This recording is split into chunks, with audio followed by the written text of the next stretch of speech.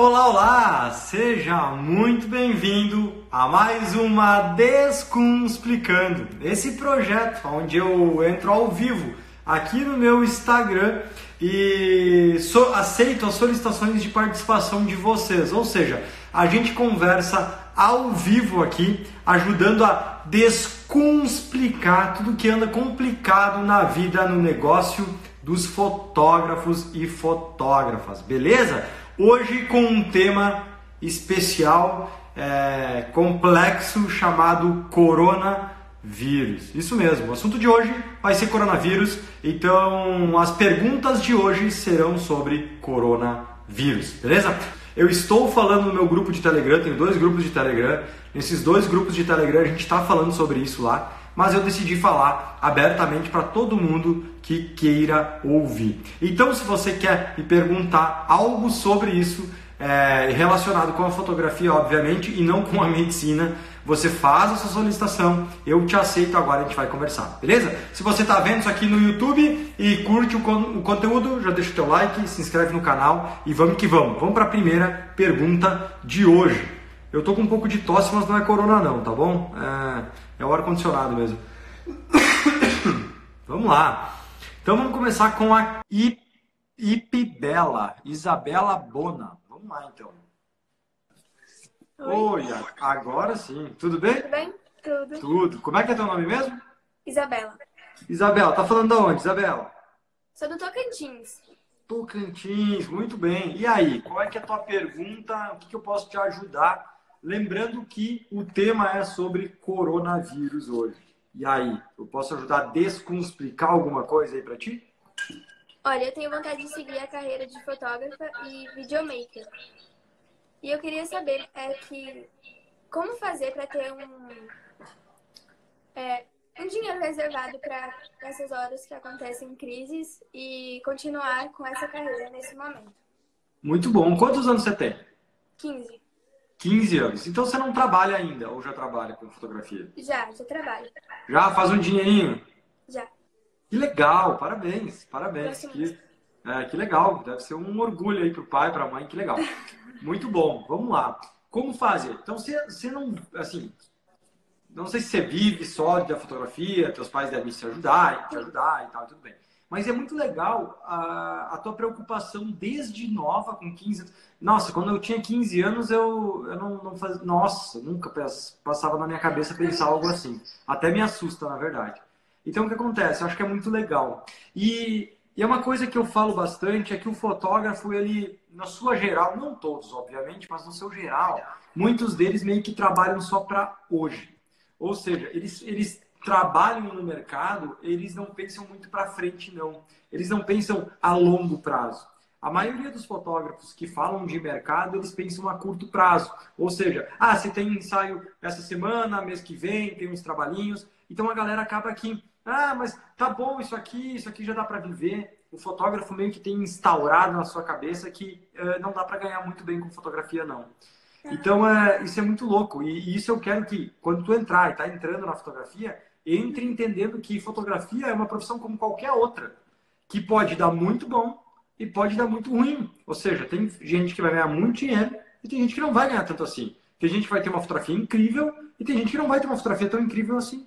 Né? E agora, o que, o que acontece muito é que quando os fotógrafos começam a fazer dinheiro, eu vejo que muitos deles pecam em algumas coisas que é muito comum, que é o quê? Começar a comprar muito equipamento, equipamento que não, não muda, não é o 80-20 do negócio dele, entende? Assim, ah, mas eu vou comprar, estou com uma lente um 35 1.8, agora que está sobrando dinheiro, eu vou comprar uma 1.4. Uhum. Beleza. Aí ele vai botar 3, 4, 5, 6 mil reais a, a mais nessa lente, vai pagar, é, vai ter que pagar o seguro dessa lente a mais, vai ter que pagar, é, enfim, uma série de outras coisas a mais ali, cuidar, ter problema se for assaltado, se for roubado, tem um custo muito maior, enfim. E aí ele começa a se dar esse luxo, que eu acho que é legal se dar o luxo, né? Porque se a gente trabalha, pô, ama fotografia e tal, você merece comprar uma coisa que você gosta. Mas não é quando você começa a ganhar um pouquinho de dinheiro que você pode fazer isso. A gente sempre, eu sempre brinco assim, tenha uma estrutura financeira para depois de alguns meses, né? Tem uma estrutura financeira para te sustentar por alguns meses e só depois comece a te dar o luxo de comprar um carro melhor, de melhorar sua casa, de comprar um equipamento melhor. Às vezes a galera pula essa etapa, né? Para conseguir um casamento à vista e tal, uns trabalhos legais, vai, torra toda a grana. Por quê? Porque está dando certo. Como se o mercado sempre fosse linear. Como se o mercado fosse sempre parelho. E o mercado não é assim. O mercado é assim, ó, tá? Tu não, não vai saber muito disso, e eu também não sei tanto assim, porque eu tenho 14 anos nesse rolê. Eu peguei algumas crisezinhas no caminho aí. Mas vai pegar meu pai, ele pegou bem mais crises que eu. Ele sabe muito bem que é normal você tá assim, daí uma hora o mercado tá assim, outra hora o mercado tá lá embaixo. E, e os fotógrafos não se dão conta disso, até porque a maioria de no, deles, né? Nós somos novos e às vezes a gente não viveu isso ainda. E aí a gente acha que o mercado só vai crescer, só vai melhorar, só vai melhorar. E aí quando vê ele não melhora, quando vê ele piora. E aí a gente não está preparado. Sim. Então, cara, assim, entrou na fotografia, economiza muito mais do que você gasta, saca? Então, assim, começa a guardar dinheiro, tenha um caixa para caso dê tudo errado, você possa pelo, pelo menos ficar dois, três meses conseguindo pagar suas contas, mesmo se você não tiver é, trabalhos para fazer, tu entende? Até porque agora é coronavírus. Uhum. Ano que vem vai ser o quê? É. Talvez nada, mas talvez tenha. E outra, já imaginou se. se Deus o livre, tá? Mas imaginou se você quebra a perna? Você quebra o braço? Ou se você quebra o dedo indicador? Sabe? A gente trabalha com o corpo também. Então, assim, é, é uma responsabilidade muito grande, então tem que ficar de olho. Tá? Então, assim, minha dica é, começa trabalhando, começa poupando, é, porque talvez quando tu tenha 18, 19 anos, que você vai, né, provavelmente deslanchar na sua fotografia, você já tem aí, financeiramente falando, uma margenzinha bem tranquila para poder entrar no mercado sem desespero, entrar no mercado do jeito certo. Tá bom. Obrigada. Tá bom? Obrigado, tá. eu. Tá inscrita na semana. Viu? Obrigado. Tá inscrita na semana de notoria? Tô. Então tá bom. Então tá, vai fazer o dever de casa. Se cuida aí, tá lava as mãos, se cuida e a gente se vê lá na semana da autoria. Obrigada. Amém. Tá bom? Tchau. Valeu. Olha essa galerinha nova, cara. 15 anos e já tá pensando nessa parada. É, moleque, muita gente, muito pai de família, muita mãe de família sem nem mínima noção dessa parada. O mundo tá mudando. O mundo tá mudando. Vamos para a próxima. Claudier Oliveira. Então, cara, que tipo de conselho que você quer? Do que? Aconselhar ao quê? Aconselhar primeiro a lavar a mão, se cuidar, e agora que tipo de conselho você quer ouvir? Cara, porque assim, o que, que pesou muito em mim foi essa parte, assim, por causa que eu tava todo programado, sabe? Aí agora ficou, ficou zerado, Total. Então vamos lá. É um pouco do que eu estava falando com a Isabela. A maioria de nós fotógrafos, a maioria dos fotógrafos não, não tem essa estrutura para aguentar, né? Aguentar uma queda do mercado. E não é só fotógrafo não, tá? Eu acho que boa parte do mercado dos pequenos empresários, empreendedores aí, né, é, tem essa dificuldade. Agora, a gente, primeira coisa de tudo, eu acho que a gente tem que ter um entendimento sobre o que está acontecendo. Né? É, um, é um momento crítico, é um momento complicado, é um momento de primeira, primeira coisa de saúde. Né? Então a gente tem que se cuidar, a gente tem que é, cu, né, cuidar dos outros. É, mas eu não vou falar muito de saúde aqui, porque eu não, eu não entendo de saúde, está cheio de entendedores aí na internet de saúde, então eu, o que eu posso falar aqui é não sobre saúde, e sim sobre como a gente vai sobreviver como negócio é, com isso acontecendo. Porque, querendo ou não, é, o coronavírus, é, na minha opinião, é uma tempestade. Tá? É uma tempestade que está se aproximando. E a gente sabe que ela está vindo já há um tempo. E aí o nosso governo, uma série de coisas demorou para fazer tomar as, né, as devidas providências, mas está vindo uma tempestade.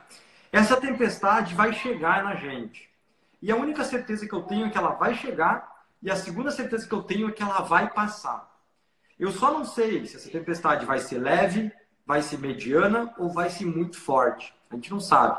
Talvez essa, essa tempestade passe e destrua tudo, sabe? É, destelhe as casas e tal. Talvez essa tempestade chegue aqui nem tão mais forte assim e talvez nem destelhe tantas casas. Algumas sim, quem não estava tão preparado, outras não, quem estava mais preparada fica de pé. Né? Então, assim, eu não sei como vai ser, mas eu tenho certeza que vai passar. E quando passar, é que a, a gente tem que estar preparado. Por quê? Porque eu não tenho o que fazer contra o coronavírus a não ser me cuidar e cuidar das pessoas que estão ao meu redor. A única coisa que a gente pode fazer é isso. Fora isso, não adianta gritar, não adianta brigar, não adianta cobrar clientes, não tem o que fazer. A gente tem que começar a tomar as atitudes, que é o quê? Se preparar durante a tempestade, para quando ela começar a passar e vier a calmaria, a gente já estar em movimento e ter aproveitado esse tempo de reclusão para sair na frente. Por quê? Porque eu acho que o mercado vai ter que mudar, senão o mercado vai ter que ele vai ter que voltar, porque senão todo mundo vai morrer de fome, né? Vai, todo mundo vai falir. Então assim, ele vai voltar e ele vai voltar numa velocidade muito diferente do que ele era. Por quê? Tem gente acelerando muito, porque precisa voltar numa velocidade rápida. Então assim, agora não tem muito o que fazer, a não ser botar os teus trabalhos em dia, colocar o teu marketing em dia, o teu o site está postado ou não está postado? Todos os trabalhos estão tá, tá postados, tá postado. sabe? Instagram tem um post por dia, sabe? Como é que está o atendimento dos clientes? Como é que está o teu, o teu fluxo de caixa? Não estou dizendo de se tu tem dinheiro ou não, é se está usando uma ferramenta para ajustar o financeiro da empresa, para ajustar o financeiro do, do, teu, da tua pessoa física, né? Então, assim, é, como é que estão os teus, as tuas propostas de orçamento? Né? Como é que está o teu atendimento? Será que não dá para criar uma coisa nova? Será que não dá para colocar um adesivo? Não dá para botar uma plaquinha na parede? Não dá para botar uma prancha de snowboard num canto para deixar um pouquinho mais bonitinho o lugar? Será que não dá para, sabe, começar a pensar pequenos detalhes que é, você vai fazendo durante essa reclusão, durante essa quarentena, porque as pessoas estão em casa. Elas vão estar no Netflix, elas vão estar na internet, elas vão estar no YouTube. Então, eu não acho, eu, Robson, não acho que só porque a gente está vivendo uma quarentena, que, é, que não estou dizendo que é simples, que é grave, né? Não é só, por, só porque a gente está vivendo uma quarentena, não quer dizer que a gente tenha que falar somente sobre isso. Porque eu falar sobre o corona não me resolve mais. Eu só tenho que me cuidar. Agora, eu posso falar sobre outras coisas, sobre negócio, sobre marketing. Então, eu posso continuar fazendo o meu marketing. Você vai ver que eu não vou parar de publicar todos os dias. Eu vou aproveitar agora esse tempo que a gente tem para colocar o meu site em dia, para começar a fazer várias coisas, porque as outras pessoas, que são os meus possíveis clientes, eles vão estar na internet. Logo, eu vou querer chegar até eles, porque talvez eles até não comprem da gente agora. Talvez nesse momento não vai ser o momento que eles vão querer fechar um casamento comigo. Porém, eles estão pesquisando. Tu entende? Por exemplo, a gente está construindo eu e a Diana. Então vai ser um momento que a gente vai aproveitar ir para a internet e pesquisar e definir várias coisas que a gente não teve tempo para definir na nossa casa ainda. Né? Então, eu tenho certeza que pessoas que estão pensando em casar, que estão pensando em fazer alguns serviços, também vão aproveitar para fazer pesquisa na internet nesse momento. Então, que né, durante essa pesquisa, eles achem a gente. Para quando a calmaria voltar, quando a tempestade passar, eles já saibam que eles tenham que vir conversar com o Robson, eles já saibam, já tem um orçamento online do Robson, porque a internet não vai parar. Tu entende? Tudo vai continuar com as restrições que a gente tem. Então, assim, meu conselho é não para. Ah, mas Robson não pode sair de casa. Beleza. Não precisa. Quando, se a gente ficar em casa, não quer dizer que a gente está parado. Você tem um celular, você tem um computador na mão aí, meu, faz a parada acontecer aí. Ficar dentro de casa, se cuidando para não espalhar o coronavírus, não quer dizer que a gente não possa estar tá trabalhando no nosso negócio. Tu entende? Na nossa fotografia, estudar, treinar, né? É, principalmente fazer o que dá para fazer dentro de casa, que é, eu acho, estudar muito, aproveitar tudo aquilo que a gente queria fazer, ler, sabe? testar, arrumar o nosso servidor, arrumar os nossos backups, sabe? Subir tudo para a nuvem, conferir se o nosso negócio está tudo certo. Esse é o momento. Então, eu acho que é um momento de muito trabalho agora. Tá? E quanto aos trabalhos cancelados, o meu recado é: tentem não cancelar e sim remarcar. Então, os casamentos que eu que eu tô tendo problema, digamos assim, tinha casamento amanhã, uh, sábado agora, no outro sábado eu também ia ter, aí eu acho que no outro também, e daí eu folgava um. Então, assim, esses três, quatro casamentos já foram remarcados. Então, eles não, eles não cancelaram, né? E, claro, os trabalhos do estúdio do meu irmão, por exemplo, é, alguns foram cancelados, porque, ah, aniversário infantil foi cancelado, né? Então, trabalhos menores tendem a ser mais cancelados do que trabalhos maiores. E aí, mais uma vez, mais uma vez, quanto mais desejado a gente é, quanto mais importante a gente é, quanto mais trabalhos grandes a gente faz, menos a gente sofre um pouco. Por quê? Porque os trabalhos grandes não vão ser cancelados como os trabalhos pequenos. Eles vão ser transferidos, que é um problema, mas não é um problema tão grande, porque eu não vou deixar de receber. Entende? Eu vou trabalhar mais tarde, agora eu vou ficar de folga, vou trabalhar mais tarde, mas eu vou receber. Então, trabalhos menores é um pouquinho mais complicado. Tá? Mas não tem o que fazer. Não dá para brigar, não dá para espernear. Tem que aproveitar e entender que se tu está preparado para esse momento, que legal. Mas a maioria não está. Então, fica o aprendizado. Tá, beleza. O que, que eu tenho que fazer de diferente para uma próxima vez eu estar tá preparado? Sabe por quê? Porque eu vi uma eu vi uma palestra do Bill Gates, se eu não me engano, ontem, é, que ele deu no TED. Sei lá, 10 minutos no TED. E ele deu essa palestra em 2015 falando sobre o ebola. Como o ebola se dissipou muito rápido e como a gente, como mundo, não estava preparado para uma pandemia, para uma epidemia. E ele falou: a gente deveria investir menos em paradas nucleares e guerra e investir mais em como conter uma possível epidemia. Ele falou isso em 2015. Estamos em 2020 e aconteceu.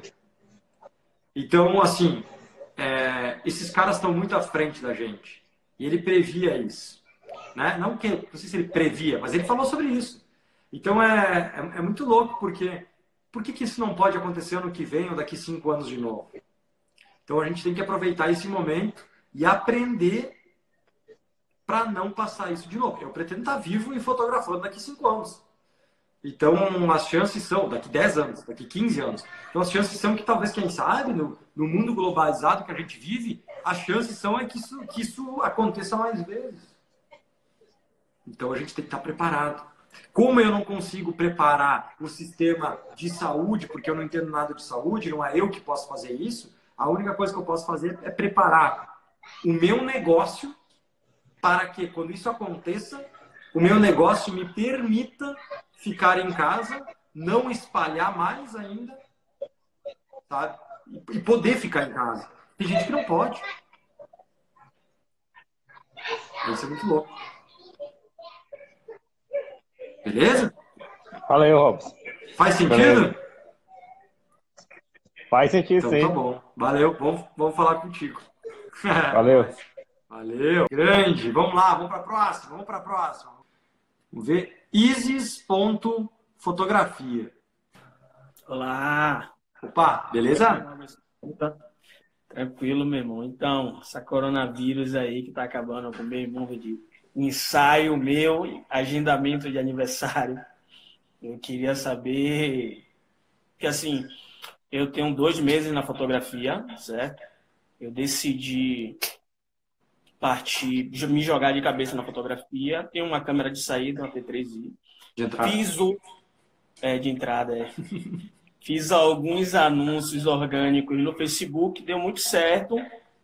Assim, para a experiência, eu não tinha ninguém para fotografar. E aí fiz, acabou dando certo.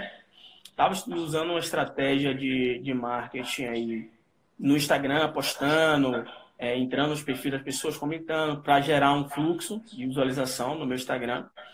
Só que eu estava no ponto de partida para dar fazer minha segunda estratégia, meu segundo anúncio, e aí veio esse boom do corona, né? Fechou o Spark. Como, como eu não tenho um estúdio, é, eu faço meus ensaios, não, não, eu não quero fazer, pelo menos por hora, não quero fazer evento, nem nenhum aniversário, eu faço externo, Faço ensaio infantil, feminino, gestante. E aí os parques se fecharam, né? É parque público, parque ecológico. Eu estou impossibilitado de fazer qualquer tipo de ensaio. Qual que é a dica que você dá, o que, é que você sugere? Porque nenhum, até um anúncio eu fiquei meio travado de fazer, porque eu não tenho local para poder fazer os ensaios, entende? Tá, vamos lá. Você mora onde? Eu moro em Salvador, Bahia. Salvador, tá bom. Então vamos lá. Tem, tem vários detalhes aí, tá? Vamos lá. Primeiro, é... vamos ver por onde eu começo, tá?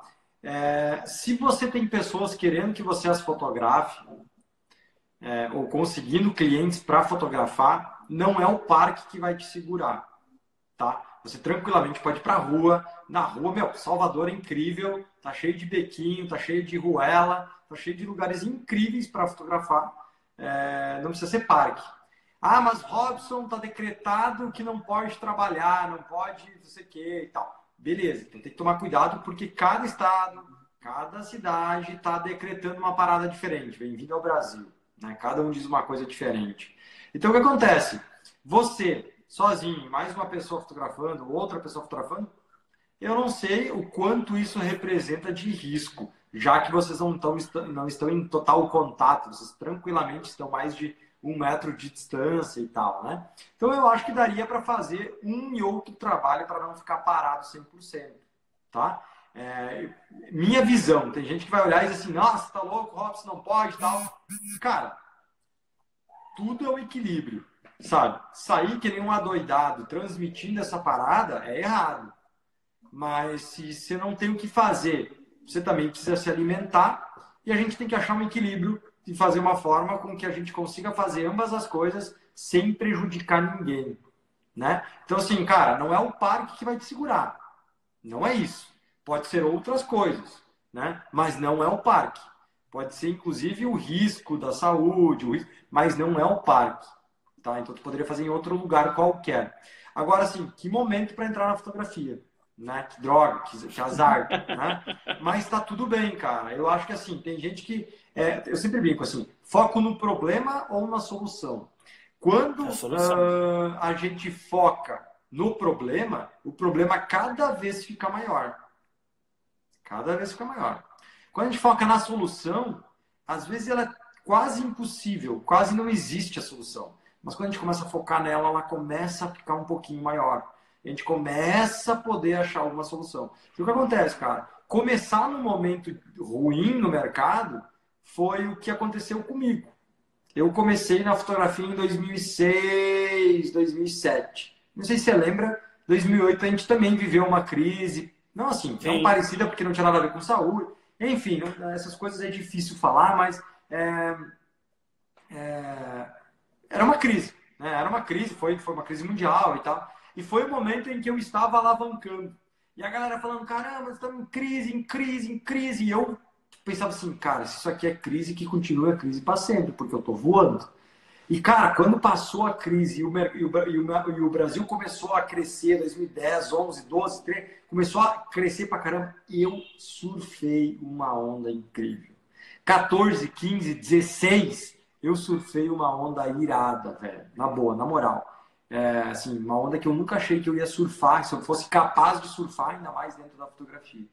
Foi muito massa, porque eu estava tão preparado, eu criei tanta casca, eu criei tanto anticorpos no meu início, porque o mercado era tão complicado, que quando uh, o mercado ficou bom, eu tava, eu, cara, eu era um quase um super-herói de tão potente que eu estava, né? Por quê? Porque eu já tinha sofrido muito no meu começo. Né? A gente sempre brinca assim, ah, guri, aqui no Brasil, aqui no Rio Grande do Sul fala guri de apartamento. Guri de apartamento é aquele cara, aquele, aquele filho de é, filho de papai, filho de mamãe que fica no apartamento, que nunca botou pezinho na grama e tal, né? Esse é o guri de apartamento que a gente chama aqui, né? Ou seja, aquele fresco, né? E aí tem o, o, o guri do, do, interior, que se criou com o pé no chão, que se criou com o pé na, na grama, né? Andou de fralda, é, se é, engatinhando na grama, né? Tu bota essa, essa criança na grama, os miquim, não sei como vocês chamam aí, aqui no sul falar miquim, os bichinhos da grama, aqueles que dão as coceiras, não faz nem cócega no moleque né, do interior. Mas no, é verdade. Mas no guri de apartamento, ele vira todo pipocado. Por quê? Porque ele não está acostumado. E não é culpa dele, né? Ele não está acostumado. Então os bichinhos têm alergia e tal. Então o que acontece? Eu fui o cara que, que quando eu comecei, é mais ou menos que nem tu, assim. Você vai sofrer um perrengue agora no começo e isso pode te fortalecer bastante logo ali na frente. Então, assim, cara, você vai ter que dosar. Eu vi alguém comentando aqui, né, que é, que achava desnecessário, exposição desnecessária. É, eu não gosto de julgar nem que é desnecessário e nem que não é, porque só quem está na sua própria pele sabe, né? Porque tem gente que, cara, tem gente que está numa condição financeira que se ficar dois meses parado, morre de fome. Tem gente que não, é mas tem gente que sim. Então não dá para sair julgando as pessoas, a não ser que essas pessoas fiquem fazendo coisas que realmente coloquem em risco a vida de outras pessoas. Então, desde que seja uh, cuidado, com muito cuidado, eu acho que pode ser legal. Agora, assim, cara, aproveita. Não para de compartilhar suas fotos, sabe? Não para de fazer teu marketing. É, gente, botem uma coisa na cabeça. O mundo não vai acabar. Essa gripe não vai matar o mundo. A gente é mais forte que essa porra, velho. Você tá entendendo? Não vai matar o mundo. É uma tempestade que vai vir, tá vindo, tá chegando e vai destelhar algumas casas e outras não. Eu não sei qual a potência. Talvez até destelhe tudo, mas não vai matar. E depois que essa tempestade passar, a vida vai continuar. Tu entende? Certo. E se tu continuar acelerando e correndo agora, quando a tempestade passar, tu já está embalado. Tu já está correndo. Agora, se você parar, estagnar, depois que passar, você vai ter que começar a caminhar, começar a correr, começar a embalar. E quem já estava embalado e continuou no embalo nesse momento, ele, ele tendia a ser na frente. E, de novo, eu não estou falando sobre ser irresponsável e não estou falando sobre saúde. Estou falando sobre fazer isso de forma responsável. Trabalhar em casa, saca? Por que, que você não pode fazer ensaio em casa daqui a pouco? Alguém quer muito umas fotos, por que, que você não pode fazer na sua casa? Sabe? Por que, que não pode. Então, assim, tem, por exemplo, eu fui agora caminhando para minha casa que a gente está construindo, eu não passei por ninguém na rua. A gente está numa cidade pequena. Então, assim, tudo depende de onde você está. Aqui em Café eu tranquilamente posso fazer ensaios na rua, porque eu não me relaciono com ninguém, porque são poucas pessoas, as poucas estão em casa. Então é muito tranquilo. É diferente do que estar tá numa capital, pegando metrô, pegando ônibus, são coisas diferentes. Por isso que a gente não pode julgar o que cada um vai fazer, e sim entender como você vai fazer, é você que vai fazer. Agora, a gente tem que entender que só não dá para parar. Entendeu? Beleza. Outra dúvida, só para não tomar muito do tempo da galera que está querendo aí, fazer pergunta também. Eu tenho outro questionamento que me incomoda muito aqui em Salvador. É, eu comecei com valor, certo? É, primeiro, para falar de valor, eu, eu, eu, comecei com um X valor porque eu trabalho com audiovisual há 10 anos, sou design e jornalismo, comunicação, entende? Então, eu já trabalhei muito para produtora e sei a média de valores que é cobrado, tanto para fotografia quanto para o vídeo, certo? Mas o que acontece, quando eu passei para o lado da fotografia tem dois meses, eu vi que tem uma galera que cobra muito barato, cara tipo, aqui na minha área, tipo, cobra 100 conto para fazer 200 fotos. Eu já liguei, inclusive, para essas pessoas. Pô. E eu estou encontrando dificuldade de encontrar aquele nicho da galera, das produtoras para quem eu trabalhei, que encontra sempre uma pessoa, um, um, um, nicho de pessoas que estão dispostas, que entende qual o valor da fotografia, sabe? E quando você faz um anúncio orgânico na, no Facebook, por exemplo, você não encontra esse tipo de nicho. Você acha que eu devo investir mais no anúncio aquele segmentado ou investir? Tudo bem, o anúncio, o anúncio ele orgânico foi legal porque gerou uma experiência. Eu fiz as minhas primeiras fotografias, eu já, já tenho uma noção de fotografia, acho que mediana, né? Devido, já fui retote em agências, entendeu? Então, é, eu sei o valor da minha fotografia. Por isso que eu não coloquei um valor assim. Eu acho que é uma prostituição, assim, falando na real. Porque você se deslocar por uma câmera. Muitas vezes eu levo um notebook que foi caro, sabe? Você tem um custo. Para cobrar 100 conto em 50 fotos é complicado, entendeu? O que é que você acha no, no, no, no sentido de, de, nicho? Como encontrar? Você acha que eu devo investir no, no público mais segmentado para anúncio ou continuar prospectando esse anúncio orgânico? Você entendeu a pergunta? Entendi. Eu acho que você tem que investir, sabe aonde? Na sua fotografia. Sim. É lá que você tem que investir. O, o anúncio orgânico ou pago, ele não vai ser na segmentação que vai trazer o público certo para você. O que vai trazer o público certo para você é a sua fotografia. Não, não adianta um açougueiro fazer qualquer tipo de anúncio orgânico ou pago para quem é vegetariano ou vegano. Não vai vender. Por mais que a carne, sabe, não vai vender. Tu entende? Então o que eu estou tentando te dizer. É que as pessoas, muito mais do que segmentar, você precisa fazer uma fotografia que conecte com as pessoas que tu quer conectar, com esse nicho que tu está falando aí. Então o que acontece? Eu não vejo problema algum de alguém cobrar barato. Não vejo problema algum. Sabe por que eu não vejo? Porque eu já fui o mais barato. Quando eu entrei no mercado, eu fui o mais barato. Por quê? Porque eu não tinha domínio técnico, porque minha fotografia não era boa, porque eu não tinha experiência e ninguém me conhecia. Faz sentido eu cobrar mais caro? Não faz. Ninguém ia como me comprar. Agora, eu comecei cobrando mais barato. Comecei fotografando pra caramba. Melhorei, comecei a estudar, melhorei minhas técnicas. Beleza? Melhorei minhas técnicas comecei a melhorar minha fotografia, comecei a ficar com, é, confiante com a minha fotografia, comecei a ficar conhecido. As pessoas que eu fotografava começaram a me indicar, e aí o meu valor foi subindo conforme a minha agenda ia enchendo. Então, simples. Eu comecei cobrando o mais barato de uma cidade de 5 mil habitantes. Eu fui o fotógrafo mais barato na minha cidade de 5 mil habitantes. E tá tudo bem, eu me orgulho disso. E hoje eu sou, enfim, não cabe dizer o que eu sou hoje, foda-se o que eu sou hoje, mas eu conquistei tudo que eu conquistei, não porque era justo ou não, era porque eu, eu fui mostrando a minha fotografia para as pessoas. E na época nem tinha anúncio pago, essa parada nada.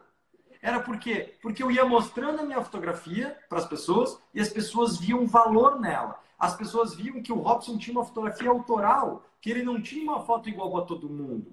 E por isso ele começava a ter a agenda lotada. E quando a gente tem uma fotografia com autoria e agenda lotada, a gente começa a poder cobrar mais caro, porque é oferta e procura. Sacou? Então, assim, olha que louco. Então, cuidado com isso. Essa prostituição tá tudo bem. Até essa palavra é forte, porque diz as pessoas se prostituem. Mas prostituição também é praticamente uma, uma, uma, uma, uma profissão. E, é uma escolha daquelas pessoas. Às, às, vezes não é, mas, mas às vezes é escolha. E as pessoas cobrarem mais barato também é uma escolha no começo. Não era uma escolha minha. Eu tinha que cobrar mais barato. Entende? De, só que assim, você ficar cobrando mais barato sempre, aí é uma escolha tua. Aí azar é teu. Entende? Não teu, teu. Não estou dizendo teu no sentido da pessoa. Né? Então, assim. Mas, é, é... é fale. Rapidinho. É, eu vi uma, uma, uma dica sua numa outra live que você falava justamente sobre um, um, um menino que ele queria aumentar o preço, estava cobrando 200, passou para 500, certo? E você falou a, a, respeito do momento de aumento e tal. Eu entendo isso, mas é, o, que eu estou falando é que, no, no sentido de prostituição, é que isso não vira um círculo vicioso cobro 100 reais para fazer um trabalho massa, invisto melhor no sentido da qualidade da fotografia e não vai chegar a época de que quando eu aumentar esse valor, é, o trabalho não vai decair um pouco mais? Não, se o teu trabalho for bom. Aí é que tá.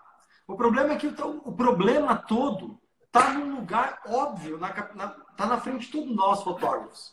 Mas sabe por que, que a gente não vê ele? Porque ele é de nossa responsabilidade. A gente adora dar culpa para outra coisa. Para nossa câmera, para o nosso concorrente, para o coronavírus, para o mercado, para sei lá o quê. Tu entende? E, cara, entenda uma coisa. A Coca-Cola se tornou a Coca-Cola pelo quê? Pelo marketing? Não. Sim, também. Não. Ela se tornou a Coca-Cola porque até hoje sei lá quantos anos, ninguém conseguiu fazer um refrigerante que as pessoas gostassem mais que a Coca-Cola. Ninguém conseguiu criar um refrigerante que as pessoas desejassem mais que a Coca-Cola. Você entende? Hoje tem bastante marketing, mas também tem bastante marketing de outras. Por exemplo, no Rio Grande do Sul, a Fruc, tem várias outras empresas muito fortes aqui no Rio Grande do Sul, que são muito fortes aqui, mas mesmo assim ela não tem uma penetração maior que a Coca-Cola. Tu entende? Por quê? Porque as pessoas desejam mais a Coca-Cola do que a Fruc. Tu entende? Então, assim, no final das contas, o que vale, no meu ponto de vista, é o nosso resultado, é o nosso trabalho. Como a gente faz, como a gente mostra ele. Então, assim, se você, só porque quem começou a cobrar barato, não tende a ficar cobrando barato para sempre. A Apple, a Apple começou numa garagem. Tu entende? Ela começou numa garagem pequenininha. Hoje é uma grande empresa. O Google começou numa garagenzinha. Hoje é uma das maiores empresas do mundo. Então, assim, começar pequeno não impede de você crescer. O que impede você crescer é a sua mentalidade de não querer crescer. Aí sim, querer continuar cobrando barato para sempre, achando que não tem cliente, porque quando subir o preço vai vender para um, o cara vai dizer que não, daí tu já vai voltar para trás e vai vender mais barato de novo. Por quê? Porque daí falta o quê? Inteligência. Falta técnica de venda, falta técnica de fotografia, falta colocar desejo das pessoas no nosso trabalho. Tu entende? Então, assim, voltando à tua pergunta que tu me fez lá no começo, aonde eu anuncio? Cara, se você está começando, velho, eu não sei se eu botaria dinheiro na internet, não. Eu deixaria o negócio rodar orgânico primeiro. Tu entende? E faz as pessoas te conhecerem, fotografa a galera, entende? Fotografa muito. As chances são que, se você está começando agora, quanto mais você fotografar, mais experiência você vai ter, mais trabalhos, mais resultado, mais material de marketing, sabe? E outra coisa, galera, não só para ti, para todo mundo, galera, fazer marketing não é mais fazer anúncio. Não é mais fazer como se fazia no jornal antigamente, botar um WhatsApp, um telefone e dizer lá que está à disposição para fazer fotos. Marketing hoje é gerar valor, é entregar conteúdo, é fazer fotografias que as pessoas olhem e admiram, admirem, compartilhem com outras pessoas, desejam serem fotografadas assim. Não é um anúncio assim, olha, essa foto aqui, venha fazer aqui um ensaio fotográfico comigo. É você mostrar fotografias que elas olhem e digam: Nossa, eu quero umas fotos assim também. Eu vou chamar esse cara, porque eu também quero umas fotos assim. Ou quando eu casar, eu quero umas fotos assim no meu casamento. Quando eu me formar, eu quero umas fotos que nem essas fotos aqui de formatura que eu vi. Aí eu vou chamar esse cara.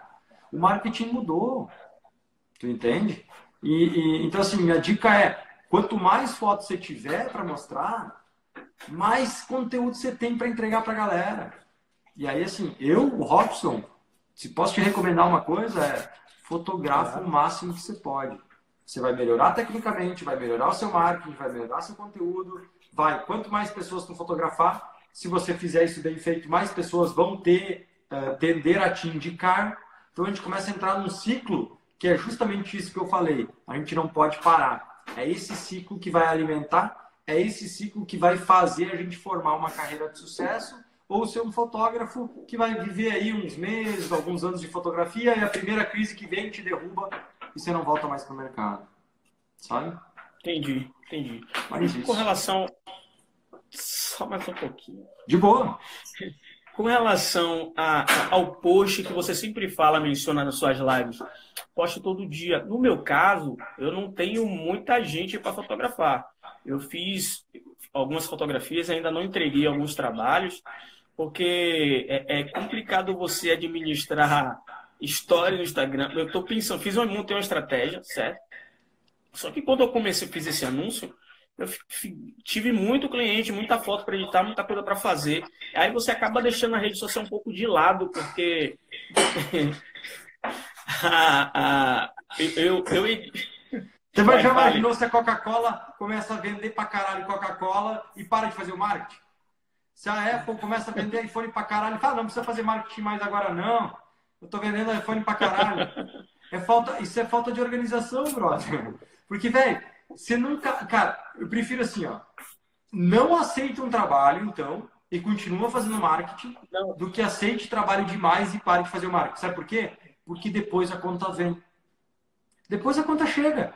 Você, meu, velho, é o que mais acaba com a carreira dos fotógrafos foi aquilo que tu acabou de me dizer.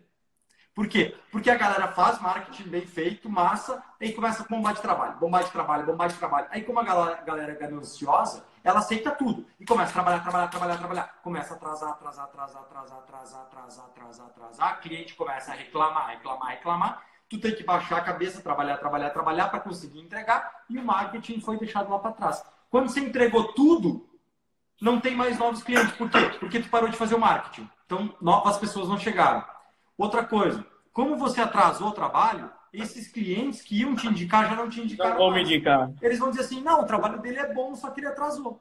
Então, assim, cara, os trabalhos que tu entregou não estão te trazendo novos trabalhos porque a experiência não foi boa. Enquanto você resolvia esses trabalhos, você parou de fazer o marketing, ou seja, parou de prospectar novas pessoas. Velho, ou seja, trabalhou para pagar o caixão e enterrar.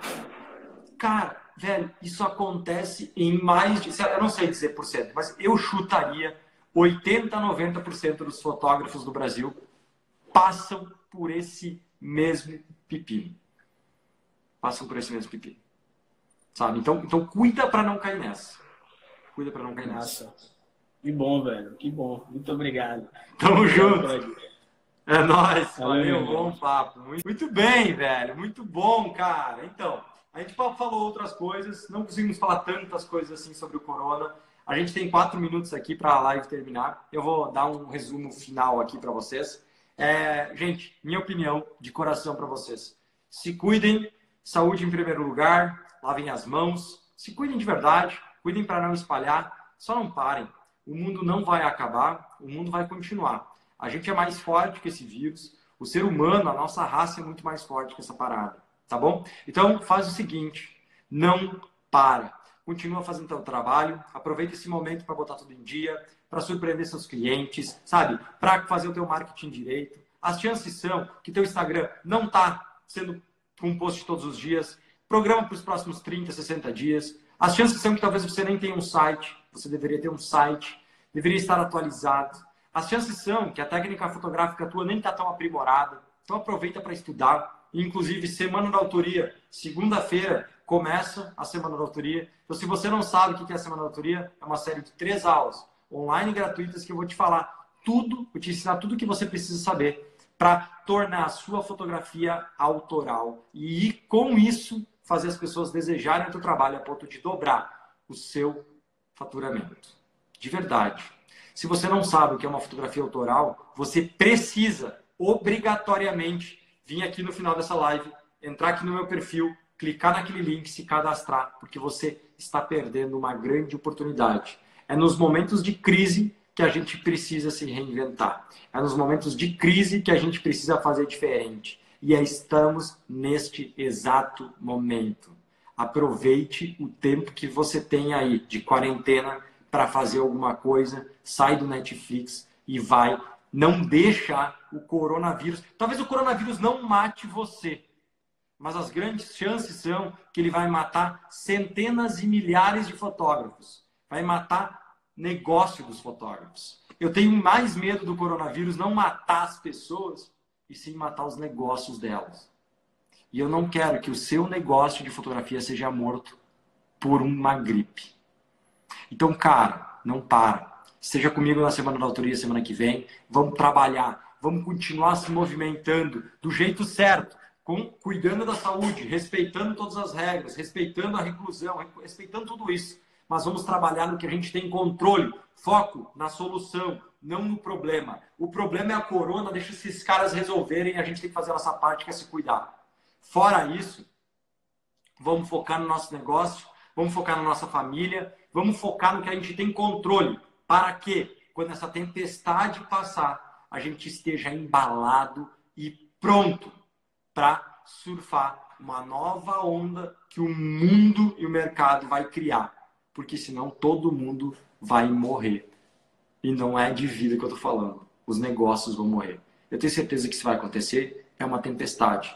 Ela está chegando, a gente não sabe a potência dela, mas ela vai passar. É a única certeza que eu tenho. Então, tamo junto, vamos junto. Espero que você tenha gostado disso. Se você está vendo isso aqui, dá um like aqui. Se você está vendo isso aqui no YouTube, dá um like, se inscreve no canal. Essa foi mais uma Descunsplicando com o Cuns. Espero que você tenha gostado. E se você está aqui e não está inscrito na Semana da Autoria ainda, se inscreve aqui no Instagram, no YouTube, em algum lugar você vai encontrar o link para se inscrever e eu te espero lá. Vai ser massa, vai ser irado. Vamos aproveitar, porque as próximas semanas vai ser semana para mudar a sua fotografia e tornar ela cada dia mais autoral, única e diferente dos seus concorrentes. É isso que vai fazer o coronavírus, é, é isso que vai fazer a sua empresa é, se bloquear, se proteger do tal coronavírus. Tá bom? Tamo junto.